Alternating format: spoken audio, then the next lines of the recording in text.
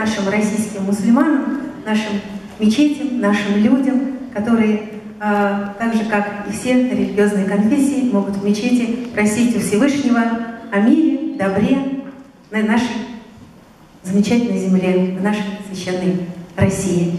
Монора. Слова народные.